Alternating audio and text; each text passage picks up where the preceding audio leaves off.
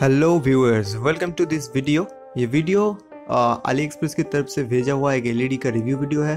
Ali express ने मुझे LED light भेजा है रिव्यू करने के लिए।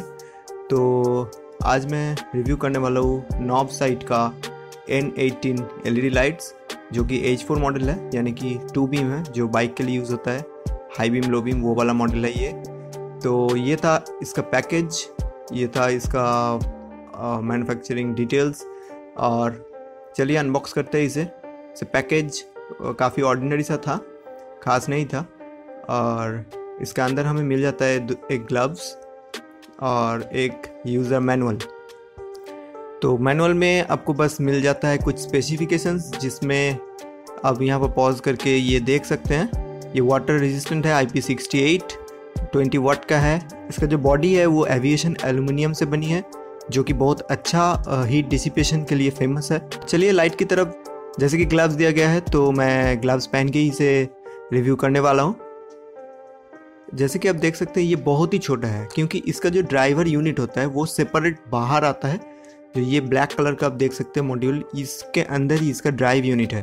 तो इसका दो एडवांटेज है, एक तो आपका लाइट का साइज़ बहुत ही छोटा हो जाता है, और दूसरा बल्ब में जो हीट जनरेट होता है, वो ड्राइवर को हीट नहीं करता। दोस्तों, अभी मार्केट में जो एलईडी मिल रहा है, उसमें दो टाइप का एलईडी चिप बहुत ज़्यादा यूज़ हो रहा है। एक है C S P Y nineteen chip जो कि ये वाला मॉडल में यूज़ हो रहा है, और एक है क्री एलईडी चिप तो C S P Y nineteen chip में हीट जो जनरेट होता है, वो क्री से बहुत कम जनरेट होता है तो इसके लिए इसमें कोई फ़ैन की ज़रूरत नहीं पड़ता।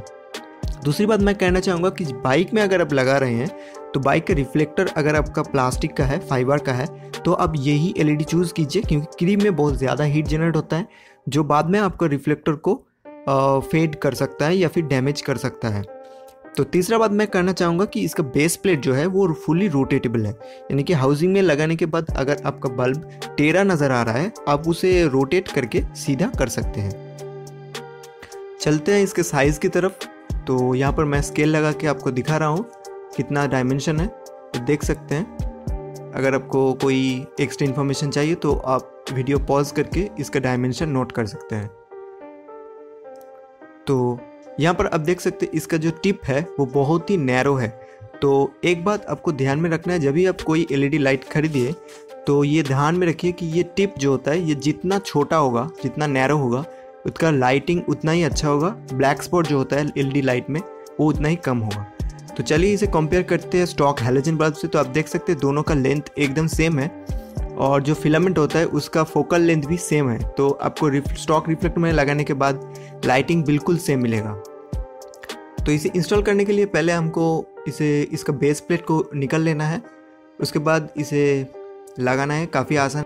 आप खुद ही लगा सकते हैं क्योंकि ये एक ही डायरेक्शन में लगेगा। क्योंकि इसका तीन जो लेग होता है, उसका एक बड़ा होता है तो आप कोई दूसरी तरीके से इसे लगा नहीं पाएँगे। तो सबसे पहले जो हम करेंगे, इसके ऊपर डस्ट कैप लगा लेंगे। तो डस्ट कैप इज़ मस्ट है तो डस्ट कैप आप बिल्कुल लगाइए, नहीं तो आपका जो धूल, मिट्टी, पानी की धोने के वक्त जो पानी आता है, वो सारे रिफ्लेक्टर के अंदर चला जाएगा और रिफ्लेक्टर आपको डैमेज हो जाएगा फॉगी हो जाएगा कुछ दिन बाद ही। तो इसे लगाने के बाद हम जब बल्ब लगाएँगे तो आपको ध्यान में रखना है, रिफ्लेक्टर नीचे की तरफ़ फेस होनी चाहिए। नीचे की तरफ़ फेस होते हुए इसे आपको अंदर इंसर्ट करना है। और उसके बाद इसे फुल्ली क्लॉकवाइज रोटेट करना है। अब अब देख सकते हैं, यहाँ पर ये थोड़ा टिल्टेड है तो मैं अभी, हमारा ये वो मैनुअल एडजस्टमेंट काम में आएगा। तो मैनुअली हम इसे एडजस्ट करके इसे सीधा कर देंगे। तो चलिए, देखते हैं, इसका घर के अंदर ये मेरा घर है। तो इसके अंदर ये नाइट में कैसे इल्यूमिनेट करता है, हम देखते हैं। तो ये है, जो लाइट आप देख रहे हैं, ये पार्किंग लाइट ये है इसका लो बीम और इसके बाद ये है हाई बीम तो आप देख सकते हैं सेंटर में जो डार्क स्पॉट होता है एलईडी का, कई सारे एलईडी में आपको डार्क स्पॉट दिखेगा, जिसका टिप वाला पार्ट नैरो नहीं होता, उसके अंदर आपको एक डार्क स्पॉट मिलेगा। तो इसमें वो डार्क स्पॉट नहीं है। सेंटर में बिल्कुल ब्राइट लाइट है। हाई बीम में थोड़ा डार्क स्पॉट आपको दिख रहा होगा, पर वो नेग्लिजिबल है। चलिए अब इसे रोड टेस्ट करते हैं। लेफ़्ट में है हमारा स्टॉक हेलोजन बल्ब और राइट में है हमारा एलईडी बल्ब तो यहाँ पर आप देख सकते हैं एलईडी में आप चारों तरफ़ बिल्कुल ही कोई डार्क स्पॉट नहीं है। हेलोजन में जब आप देख सकते हैं, मेरा लेफ़्ट और राइट साइड में बाइक के पास कुछ डार्क स्पॉट जनरेट हो रहा है। पर एलईडी में ऐसा कोई डार्क स्पॉट जनरेट नहीं हो रहा है। और इल्यूमिनेशन हेलोजन से बहुत बढ़िया तो नहीं कहूँगा, पर अच्छा है। डेफिनेटली अच्छा है।